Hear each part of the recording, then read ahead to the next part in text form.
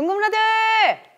어, 여름 바캉스는 다녀왔는지 완전 완전 궁금한데 일본 가서 먹부림 하는 사람도 많을 거고 뭐 해외 뭐 어디 저런 휴양지 간 사람들도 진짜 많을 거고 동남아 가신 궁금러들도 많을 텐데 바깥에서 일을 많이 하잖아. 요즘 또 야외에서 해 뜨거운 데서 막 일하고 이러니까 되게 걱정되더라고. 뭐가 걱정돼? 피부가. 사실 20대 때는 햇빛 받아도 어, 기분 좋다. 약간 어, 광합성 막 이러면서 되게 좋아했는데 30대 넘어가면서 기미가 걱정이 되더라고. 뭔가 이렇게 해외 촬영 끝나고 집에 와서 짐 풀고 거울을 봤는데 이게 기민가? 이게 검버섯인가? 하는 그런 느낌이 들어서 이거 안 되겠다 싶어서 나는 또 검색의 여왕이거든. 유튜브에 검색을 해봤지. 미백 추천템 이렇게 검색을 해봤더니 웬걸? 제품들이 나오는 거야. 근데 그 중에 너무 유명한, 이미 유명한 제품이 있더라고? 뭔지 내가 한번 보여줄게. 자, VNA의 Antioxidant Radiance 앰플이야. 아니 이미 유튜브에 뷰티 유튜버 분들이 컨텐츠로 이걸 정말 많이 추천을 하시더라고. 민카롱님인가? 민카롱님. 민카롱님도 받고 이미 뷰티 유튜버님들은 진짜 많이 써가지고 아 유명하구나 싶어가지고 내가 이거를 사용하게 됐는데 웬걸? 꾸준히 썼더니 기미 그리고 약간의 이런 트러블 자국 많이 사라졌 많이 사라졌다라는 걸 내가 느끼고 또 그런 얘기도 많이 들었어.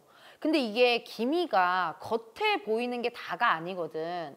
겉기미도 진짜 속상한데 진짜 속상한 건 보이지 않는 기미. 보이지 않아 보이지 않는 기미를 잡아줘야 돼. 왜냐면 보이지 않는 기미가 약간 기미 준비생 같은 느낌이야. 그게 어떻게 돼? 뿅 하고 올라온다고.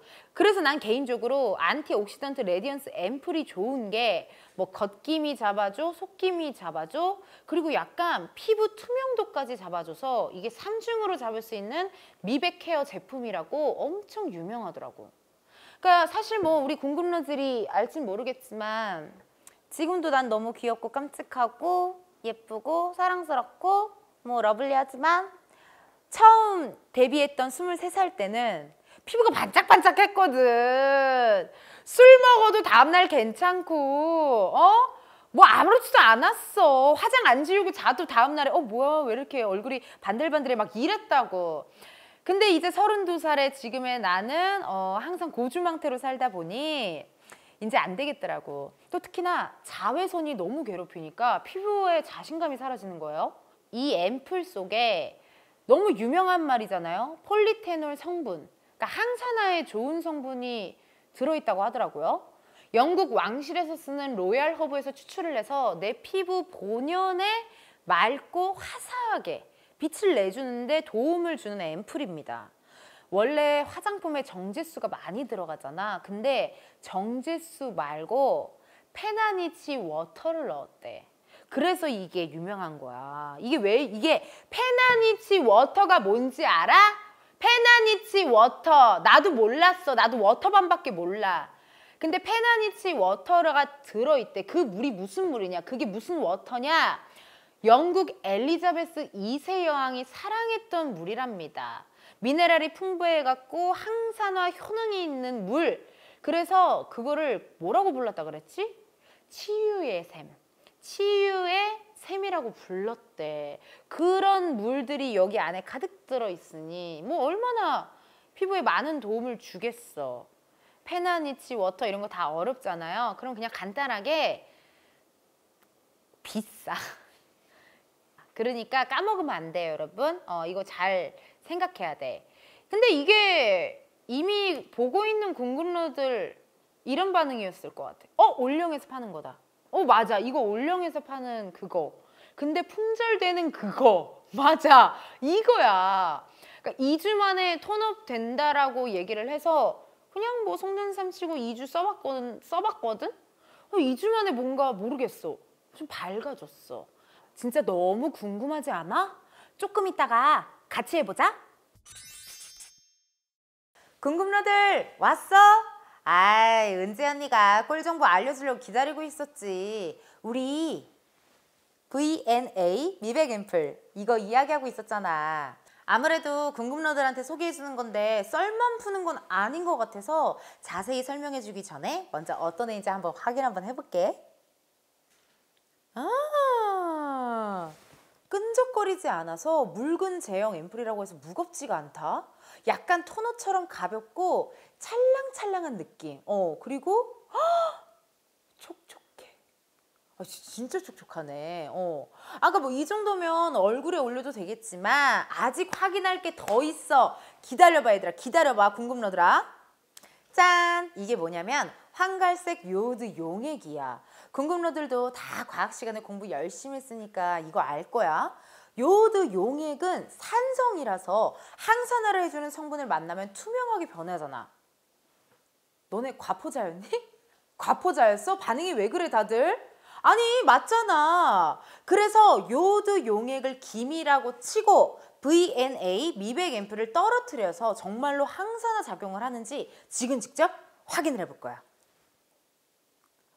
우와! 헉! 봤어? 궁금로들아 하얘지는 거 보여? 이거 기미가 바로 없어진 거야. 헉! 아니 이 앰플 진짜 비싼 성분 넣었다고 하더니 믿음이 너무 가는데? 어, 진짜 믿음 간다. 아니 특히나 VNA 브랜드에서 사과에도 이 앰플을 발라봤었대. 그랬더니 4시간이 지나도 갈변이 안 됐다라고 하더라고. 미백이랑 항산화 효과를 거듭 거듭 거듭 확인해 본 거야. 이거 연구진들 집에 가지도 못했대 며칠 날 진짜. 궁금하더라. 그리고 이걸 팩으로도 쓸 수가 있거든. 다들 모닝 루틴으로 스킨팩들 많이 하잖아. 요즘은 트렌드가 또 앰플팩이란다. 몰랐니? 왜 몰랐니? 그러니까 효능이 꽉 담긴 앰플팩으로 기초를 다져 놓으면 그날 메이크업 완전 화잘 먹. 진짜. 아니, 그러니까 먼저 토너로 피부결을 정돈을 해준 다음에 앰플 팩을 기미나 고민이 있는 부위에다가 붙여주면 돼. 쭉. 나. 짠! 이렇게 볼에다가 탁 붙여놓고 5분 정도 그냥 할일 하면 돼. 자, 봐봐. 오, 헉, 완전 촉촉스. 이렇게 붙여놓고 뭐 이렇게 머리를 말려도 되고 아니면은 뭐 핸드폰 봐도 되고 뭐 밥을 먹어도 되고 저녁에 특히나 자기 전에 올려놓고 유튜브 잠깐 보잖아. 어우 시간 순삭이야. 음, 우리 궁금러들한테 팁을 하나 주고 싶은데 가끔 앰플 잘 먹으라고 각질 제거 먼저 해주고 앰플팩 올리는 궁금러들 있잖아. 이런 고효능 앰플은 그럴 때 살짝 따갑게 느껴질 수도 있거든. 그럴 때는 각질 제거하고 나서 조금 피부에 시간을 줬다가 팩을 올리는 걸 추천할게. No. 궁금러들아 봐봐. 어? 다르지? 이거 5분만 붙여놓으면 투명하고 밝아진다니까? 앰플팩 끝나고 화장솜 떼어낸 다음에 앰플을 한 번 더 레이어링해서 덧발라주면 은 피부결이 더 반질반질해질 거야. 이 앰플이 이렇게 사이즈가 두 개거든? 큰 거는 화장대에 올려놓고 쓰고 작은 거는 여행 갈 때 들고 다니면 나 너무 좋을 것 같아. 한번 내가 파우치에 넣어볼게. 봐봐. 자, 뭐야? 자리 차지를 안 하잖아. 아, 여행 다닐 때 아, 이거 결국 갖고 가야 되나 이래서 막 빼게 되고 막 이러잖아. 근데 이거는 자리 차지도 안 해. 그리고 이거 너무 예쁘게 생겨가지고 어, 누가 내 파우치 안에서 이거 쌔벼가면 어떡해? 안 돼, 안 돼. 난 참을 수가 없어. 누가 감히 VNA 앰플을 쌔벼가니? 궁금러들아, 지금 이 순간에도 느끼지 못할 뿐이지 우린 조금씩 늙어가고 있잖아. 그 속도를 완전히 멈추는 건 불가능하겠지만 이런 데일리 항산화 미백 앰플로 조금씩 늦추는 건 할 수 있지 않을까? 요즘 대세는 슬로우 에이징이니까 그럼 우리 오늘 또 조금씩 더 밝아지자.